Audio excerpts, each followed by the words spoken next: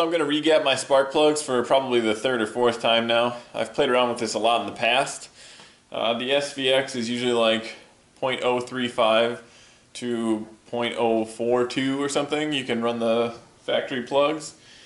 Um, we've got the one step colder plug, which is BKR7E11, and these uh, I actually gapped to 0.032.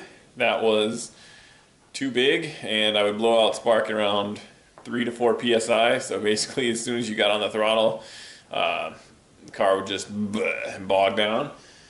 Uh, these I then gapped to 0.026 to try to mitigate that a little bit and like slowly sneak up on it.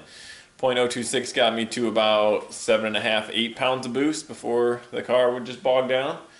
And now I think we're going to go to 0.02 two, which is what I had luck with on the last set of plugs I had in the car.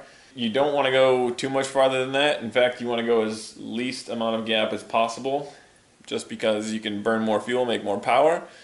But uh, you're not making power if the car is not firing properly. So I'm going to gap these down a little farther, see how that goes. I actually have a different set of plugs that my friend found on the internet that are very similar but might be less susceptible to blowing out the spark. So we'll see when we get those. But for now, we're going to pull the other five of these out, gap them, put them back in, and then possibly take it for a drive.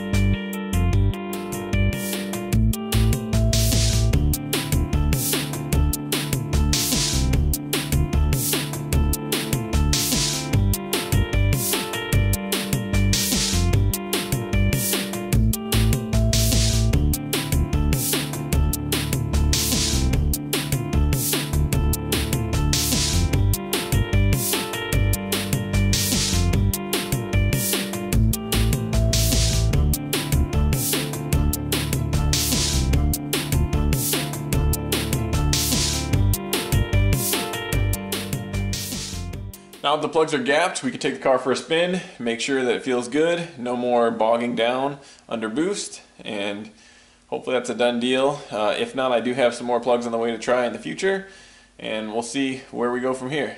Let's go for a ride.